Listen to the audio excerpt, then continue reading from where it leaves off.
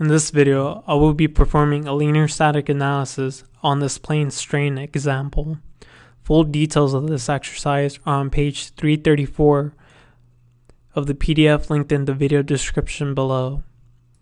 I'll first begin by starting a new Patran session. And I'll create a new file and I'll call it problem 4. The units for this exercise are inches, pounds, and psi. I'll first begin by creating or clicking OK here, and then creating a new coordinate system by going to coordinates and three point. My type is cylindrical, leave the defaults and click apply. You'll see my new coordinate system here at the origin. I'll create a curve using the XYZ method or actually I'll be using the 2D arc angle method. The radius from the origin will be 3 inches. My end angle will be 15 degrees. My rotation axis will be the z axis or coordinate 0 with the third axis, which is z. And the center point will be this crosshair, which is 0, 0, 0. I click apply, my first curve is created. My next curve has a radius of 6 or 9 actually. The end angle and start angles are 0 and 15. The other values are the same, so I hit apply. Next, I'll create a surface using the curve method. This allows me to select one curve followed by the next one, and it'll fill in and create a surface. I'll go ahead and translate this actually to create my other five surfaces. So here under transform, click surfaces. So here you have transform surface, click rotate. Here we'll rotate about the z axis here. My rotation angle will be 30 degrees. My repeat count will be 5. And for my surface list, I'll simply select this surface. Uh, here you have auto execute checked. This will automatically generate the surfaces once you select an entity. So here, as soon as I click surface one, I'll create the five surfaces. If you accidentally make a mistake, you can click the undo button here and it'll undo that action. And here I have surface one in here, so I click apply again. And I'll go ahead and create my five surfaces here. I can now move on to create my materials under the properties tab. I'll click and select isotropic. Here under material name, I'll call it just material. Under my input properties, my elastic modulus is 1000 psi and my Poisson ratio is 0.499. Click OK and click apply. Now we have to assign the material to these surfaces. So under 2D properties, click shell. Under property set name, type in shell. Under input properties, select this icon here and select this material. Or before doing that, I should cancel this and switch my options to or I've actually selected the wrong 2D properties. I should select 2D solid here. Make sure it says 2D or create 2D, 2D solid. Leave the name as shell. Your options should be plane strain. Under input properties, make sure you've selected this material. Select OK. Under your application region, select surfaces 1 through 4. 1, 2, 3, 4. You can simply drag and click. Click add, OK, and apply. Here, let me rotate this. Here, I've called this shell. It should actually be called something else. I'll call my next one property 2. For plane strain, select revise formulation for input properties. You should have material selected here.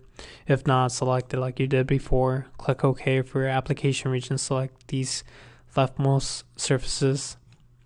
Hold the shift key to select multiple entries. Click add, OK, and apply. So now I can move on to my boundary conditions tab. Here I'll define a boundary condition here, here for every surface. So click displacement constraint. I'll simply call this set name constraint. Under input data, I wish to prevent translation in the two direction of this coordinate system, which is the hoop direction. So here, select this coordinate system coordinate system one. Before it was zero, which in which was for the this global system, but this time we're selecting this cylindrical coordinate system. Click OK for your application region. You can select curves here. What you can do is simply click, hold shift, and go around and select the multiple curves. Or what you can do is move this to the side. You can click polygon pick here. Make sure cursor's in here. You can use this polygon pick and you'll see it's on in the depressed state. So this allows me to start a click it basically allows me to move around and create an enclosure in which the entities will be covered. So then click this last point and I'll select these surfaces or these curves. Here it's selected surface 1, curve 3, surface 1, curve 1, surface 2, curve 3, and so on. Click add, OK, and apply. You see it's defined there. Next, I want to add my pressure. So here under element uniform, click pressure. Type in the new set name is pressure. For target element type, type in 2D. For your input data, type in 100. Click OK and select application region. Zoom into the model. Here you'll go ahead and just select these outer edges here. So surface 6, add your curve 2, and hold the shift key so you can click and select other edges. Click add, you'll notice they stay pink indicating they've been selected. Click OK and apply, and you should see arrows for each edge here. Now we can go ahead and move on to my meshing. First, I'll go ahead and view this in the XY orientation or the front view. Here you can do two things to hide the boundary conditions here. You can click Reset Graphics here or turn on your model tree and uh, check them on and off. Another way is to just select this uh, plot LBC markers. Uh, but to turn them off, you would have to click this again. And to see the this this icon here plots the boundary conditions that are in the current load case. I'll hide the model tree and now I'll go to the meshing tab to actually mesh this. For my mesh seeds, I'll click one way bias and I'll use the L1 and L2 method. So here, as soon as I'm in the mesh seed, I get little arrows indicating which way is the direction for each uh, curve. So I know that uh, looking at this diagram, the arrow points from the L1 to the L2. So I know that L1's here and L2's here. So for my L1, I want a value of 0.60787 inches. My L2 will be 0.24313 inches. And for auto execute, I'll I'll uncheck that. I'll select this first curve and apply and you'll see the mesh seed is there. So now I can what I can do like I did before is use the polygon pick select these curves here or these edges. You See they're all entered here and they're all highlighted orange or pink. Click apply. Now the mesh seed is there. Next thing I want to do is apply a uniform mesh seed to these uh, inner edges. So click uniform. I want three elements. Uh, I'll turn up auto execute. I'll simply select and hold the shift key to select all these other edges select this, this, and so on, and hit apply. Now you see your mesh seeds are there. So now I can go to the surface mesher, and this one is a quad 4 mesh, so just select it, surface 1, and hit apply. This next one is a quad 8, so let's switch this to quad 8. Select this surface, surface 2, and hit enter. This next one is a Tria element, Tria 3 actually, and select the surface, surface 3, and hit apply. My next one is a Tria 6 mesh, and select uh, surface 4 here, hit apply. My next mesh is a quad, leave quad 4, select this mat or the surface, surface 5, and hit apply. My last one is a Tria mesh, select surface 6, and hit apply. Let me close this form by double clicking the tab. Now, if I turn on my boundary conditions, it, it, looks like it just applied to these points here. To get a better view, you can go to the display load BC's element properties icon or label here. Here, check on show on FEM only, click apply, and turn on your boundary conditions again. And Now you can see they are actually assigned to all the nodes here. And this is a good way of ensuring that you apply your boundary conditions properly. To turn this off, uncheck this and click apply. Clean this and turn on the boundary conditions again and you'll see that it's back to normal. Click refresh graphics to hide this. Now one last thing I have to do is modify my nodes. Right now, they're most likely using this coordinate system as the reference and analysis coordinate frame. What I have to use is this cylindrical coordinate system. So I have to go ahead and modify the nodes. To do this, go to the meshing tab, go to the top. For your action, you would modify your nodes and you will actually edit them. So I want to edit the analysis and reference coordinate system. I want to use this cylindrical coordinate system called coord 1 and use the same coordinate system 1 here. For your node list, you want to select all the nodes so you can drag a window over them or you can use the shortcut here called select all or pick all and click apply. Here the feedback tells me that all 645 nodes have been modified. Now I can move on to the analysis tab to actually run this. So here, click analyze entire model. I'll do a quick modification to my subcase. Here, I'll modify the default subcase that uses the default load case. And I actually want to output an extra request. So far, I have my displacement, stresses, and forces being outputted. I want to also output my element strains just in case you want to review those results too. So ensure you have element strains here and here selected. Click apply. Can cancel out of here.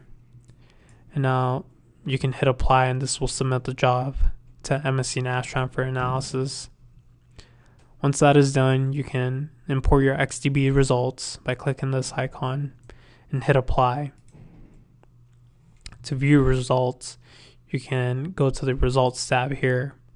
But before we do that, to make this a little cleaner on us, I'll create a, a group for each mesh here. So under the home tab, turn on the model tree. You can do this two ways. You can create a group using this tool, or you can actually just uh, click anywhere in the model tree or right click and you can uh, create a group here. So for my first group, I'll call it one. Uh, uncheck this. For my entity selection, I'll just select uh, these the these elements or these entities here, and you'll see it selects a, a bunch of items. Click apply. Next, I'll make a new one called two. I'll use the polygon pick as before, and I'll enclose all these uh, uh entities here apply and do the same for each other. One.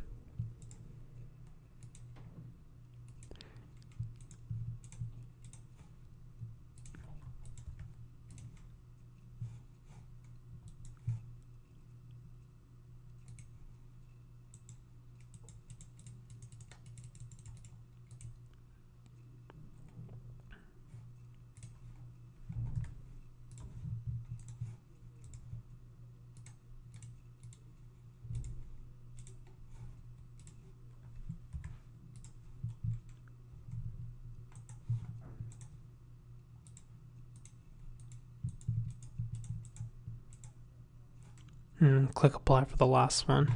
So now you see I've defined uh, six separate groups. So if I uncheck default group, and here I get a prompt telling me that uh, this originally was the current group and it wants me to select a, a new current group. So I'll just select group one as a current group. Now what I've done is, I should turn that on. Uh, make sure you always have one on. And now you can see that uh, I can turn them off and on. So when I view my results, this will make it a lot easier. So when I go back to results and say I want to view the fringe, say the stress tensor, to, or let me review the displacements first. Let me view the radial displacements. So the x component, I can hit apply, hide all the groups except for this one, hit apply, or cancel here, hit apply here. Now you can see my values here. So when I compare this to the actual values I should be getting.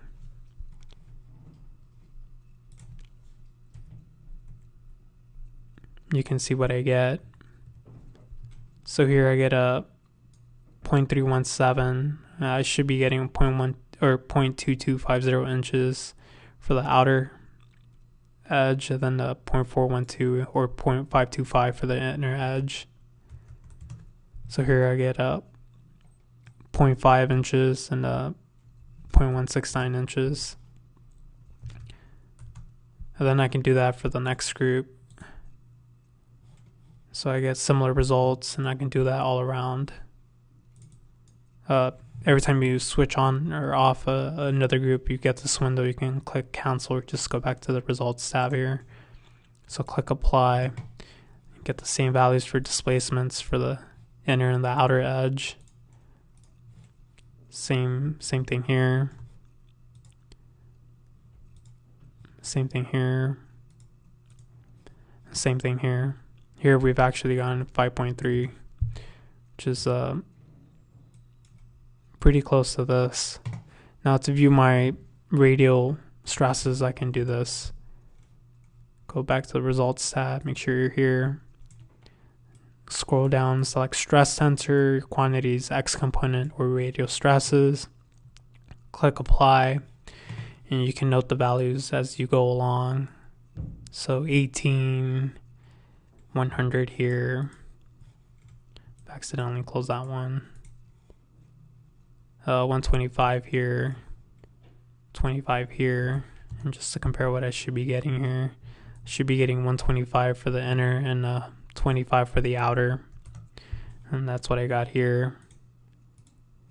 Here you can see my results are along those lines. You could do this for every other section. And that was my radial stresses, not to view my hoop stresses. So here what I would do is go back to my results tab, switch to the y component, which is your hoop stress, click apply. Here you can see your values. So for the outer, I would get a 0.8. Here I would get 91. Here you should be getting 100 psi because of the pressure. So we should be getting 0 for the outer edge and 100 for the inner edge. And what you can do is just turn them off and on and go around the loop essentially to to see your results. And that is actually what we do end up getting. Go back to the home tab, refresh this, turn off your model tree if you would like. Make sure to save. And this ends this video.